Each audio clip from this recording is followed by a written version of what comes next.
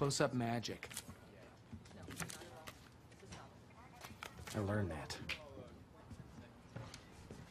How'd you do it, Scott? Do what? The card trick? James E. Wu, FBI.